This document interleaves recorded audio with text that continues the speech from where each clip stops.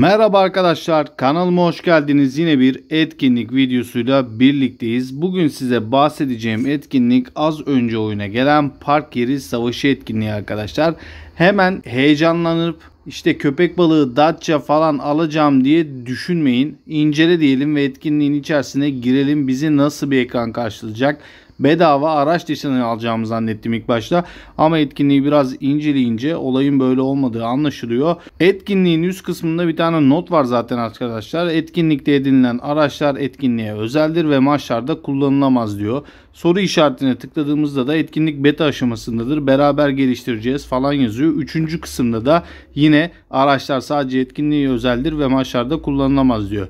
Yani arkadaşlar biz burada işte görevler vesaire yapacağız. Ondan sonra paralar toplayacağız. Buradaki etkinlikte bizim garajımıza araç koyacağız. E ben bu koyduğum aracı maçta kullanmayınca ne işime yarayacak?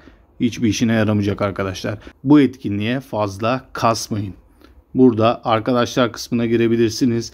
Giriş yap kısmına bakabilirsiniz. Sadece gelin giriş yap kısmında karşılık gelen ödülleri alın. İşte zaten süreli ödüller falan var hep. Bunları da BP'ye çevirin. Anca burada BP kasılır gibi geldi bana arkadaşlar.